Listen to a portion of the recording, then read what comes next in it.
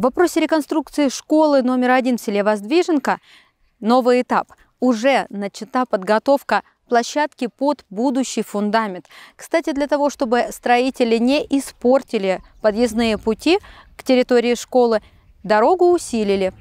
Раньше здесь был корпус начальной школы, который признали аварийным. По поручению президента России Владимира Путина теперь здесь будет современная школа с тремя учебными блоками. Реализуется этот проект силами местного подрядчика. Строительная площадка практически готова. После того, как для учеников прозвучал последний звонок, сюда зашли рабочие. У меня появился новый класс, это строительный класс.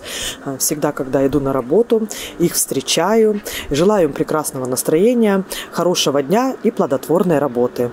Проектная мощность будущей школы – места на 600 учеников. До этого в ней уже училось 477 детей и подростков. Всего 27 классов.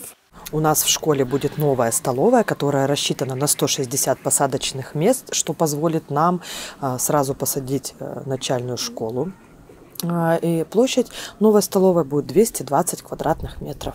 Капитальный ремонт предстоит провести и в существующем корпусе. После строительства начнется благоустройство территории. У Воздвиженской школы появится свой стадион, площадка для игровых видов спорта, а также школьный парк.